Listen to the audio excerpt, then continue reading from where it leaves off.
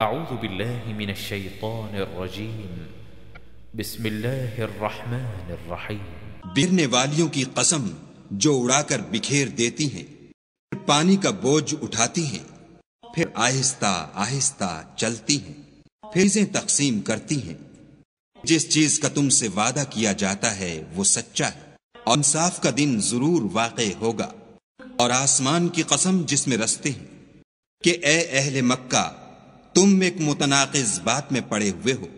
इसे वही फिरता है जो खुदा की तरफ़ से फेरा जाए।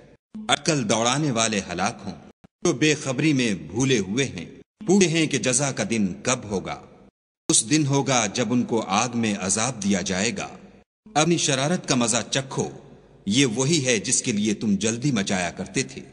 बेपरहेजगार बहिश्तों और चश्मों में ऐश कर रहे होंगे। जो जो नेमतें उनका परवरदिगार उन्हें देता होगा उनको ले रहे होंगे। बेशक वो उससे पहले नेकियाँ करते थे। रात के थोड़े से हिस्से में सोते थे। औकात शहर में बख्शिश मांगा करते थे। उनके माल में मांगने वाले और न मांगने वाले दोनों का हक होता है। यकीन करने वालों के लिए ज़मीन में बहुत सी निशानियाँ हैं। और खुद तुम्हारे नफूस में तो क्या तुम देखते नहीं? तुम्हारा रिज्क और जिस चीज़ का तुमसे वादा किया जाता है आसमान में है। तो आसमानों और ज़मीन के मालिक की कसम, ये उसी तरह काबिल यकीन है जिस तरह तुम बात करते हो। क्या तुम्हारे पास इब्राहिम के मुआज़ मेहमानों की खबर पहुँची है? वो उनके पास आए तो सलाम कहा। उन्होंने भी जवाब में सलाम कहा। देखा तो ऐसे लोग कि न जान, न पहचान। तो अपने घर जाकर एक भुना हुआ मोटा बछड़ा लाए और खाने के लिए उनके आगे रख दिया। कहने लगे कि आप तनावुल क्यों नहीं करते? और दिल में उनसे खौफ मालूम किया। उन्होंने कहा कि खौफ न कीजिए, और उनको एक दानिशमंद लड़के की बशारत भी सुनाई। इब्राहिम की बीवी चिल्लाती आई और अपना मुँह पीट कर कहने लगी कि, ए है, एक तो बुढ़िया और दूसरे बांझ।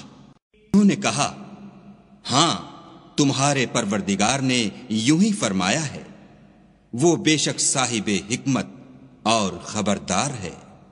इब्राहिम ने कहा कि फरिश्तों तुम्हारा मुद्दा क्या है? उन्होंने कहा कि हम गुनाहगारों की तरफ़ भेजे गए हैं, ताकि उन पर खंगर बरसाएँ, जिन पर हद से बढ़ जाने वालों के लिए तुम्हारे परवरदिगार के यहाँ से निशान कर दिए गए हैं। वहाँ जितने मोमिन थे, उनको हमने निकाल लिया और उसमें एक घर के सिवा मुसलमानों का कोई घर न पाया। और जो लोग अजाब अलीम से डरते हैं, उनके लिए वहाँ निशानी छोड़ दी। मूसा के हाल में भी निशानी है, जब हमने उनको फिराउन की तरफ़ खुला हुआ मुआजा देकर भेजा। तो उसने अपनी कुव्वत के घमंड पर मुँह मोड़ लिया और कहने लगा, ये तो जादूगर है या दीवाना? तो हमने उसको और उसके लश्करों को पकड़ लिया और उनको दरिया में फेंक दिया और वो काम ही काबिल मलामत करता था। अब की कौम के हाल में भी निशानी है, जब हमने उन पर नामुबारक हवा चलाई। वो चीज़ पर चलती उसको रेजा रेजा किए बगैर न छोड़ती। और कौम समूद के हाल में भी निशानी है, जब उनसे कहा गया कि एक वक्त तक फ़ायदा उठा लो। तो उन्होंने अपने परवरदिगार के हुक्म से सरकशी की, सो उनको कड़क ने आ पकड़ा और वो देख रहे थे। फिर वो न तो उठने की ताकत रखते थे और न मुकाबला कर सकते थे।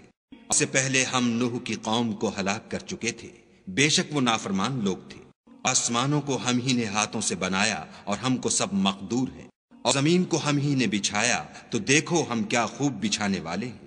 हर चीज़ की हमने दो किस्में बनाई ताकि तुम नसीहत पकड़ो। तुम लोग खुदा की तरफ़ भाग चलो, मैं उसकी तरफ़ से तुमको सरीह रास्ता बताने वाला हूँ। और खुदा के साथ किसी और को माबूद न बनाओ, मैं उसकी तरफ़ से तुमको सरीह रास्ता बताने वाला हूँ। इसी तरह उनसे पहले लोगों के पास जो पैगंबर आता, वो उसको जादूगर या दीवाना कहते। ये लोग एक दूसरे को इसी बात की वसीयत करते आए हैं? बल्कि ये शरीर लोग हैं। इनसे एराज करो तुमको हमारी तरफ़ से मलामत न होगी। नसीहत करते रहो कि नसीहत मोमिनों को नफा देती है। और मैंने जिन्नों और इंसानों को इसलिए पैदा किया है कि मेरी इबादत करें। मैं उनसे तालिब रिज्क नहीं, और न ये चाहता हूँ कि मुझे खाना खिलाए। ही तो रिज्क देने वाला जोरावर और मज़बूत है। शक नहीं कि उन जालिमों के लिए भी अजाब की नौबत मुकर है, जिस तरह उनके साथियों की नौबत थी। तो उनको मुझसे अजाब जल्दी नहीं तलब करना चाहिए। जिस दिन का उन काफिरों से वादा किया जाता है, उससे उनके लिए खराबी है।